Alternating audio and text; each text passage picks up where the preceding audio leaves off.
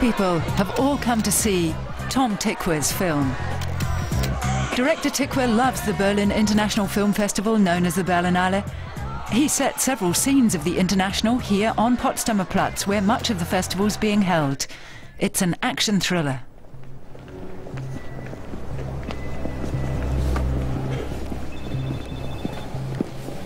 Yeah. It's me. I just got the results from the full tox analysis I ran on Schumer. And? It's inconclusive. Inconclusive. What the hell is that supposed to mean?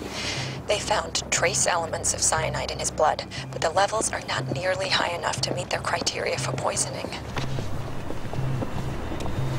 Are you there?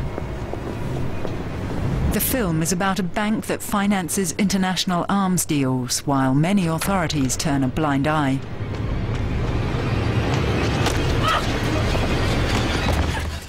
If you take a good hard look at this whole subject, sit down, do some research on the internet. All you need to do is enter the words, the world's most dangerous bank, and you get 280,000 hits. And among them are entries for companies like Citibank. You don't even want to know what lurks in the background there, how many court cases are pending. And it just goes on and on from there. Clive Owen plays British Interpol agent Louis Salinger. His sidekick is a New York lawyer played by Naomi Watts. Two idealists fighting a system interested in only one thing profit.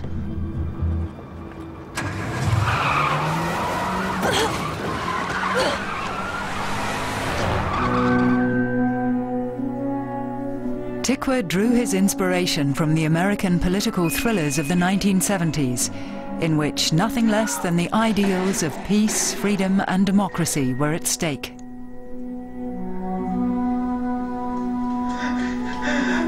Those films were based on subjects like the assassination of John Kennedy, the Vietnam War and Watergate.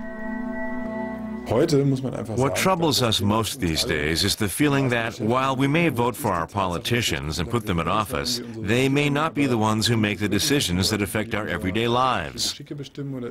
Or is it in reality the corporations that are behind things? The IBBC is a bank. Their objective isn't to control the conflict. It's to control the debt that the conflict produces. You see, the real value of a conflict, the true value, is in the debt that it creates. You control the debt, you control everything. The powerful opponent in the international is a bad bank in the truest sense of the term. Other films at this year's festival also deal with the bitter consequences of capitalism out of control. Fiction resonates strangely with reality. What it says about the power of cinema is that artists seem to have a seismographic sense. They can sense the rumblings and foresee what's about to happen in the world. The financial crisis didn't fall from the sky. It's been coming for a long time. Everything we already knew about globalization, about its negative effects, has become reality.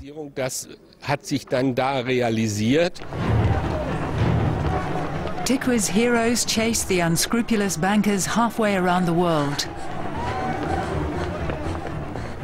The greedy control society from lofty heights and dispose of all who get in their way.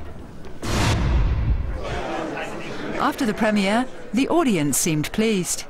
The way they linked the crimes, the illegal machinations to the bank was really exciting. It's amazing. They started filming way before the crisis broke. I'm afraid it was very realistic. It makes you think. My heart was pounding the whole way through. Very exciting. Wonderful filmmaking.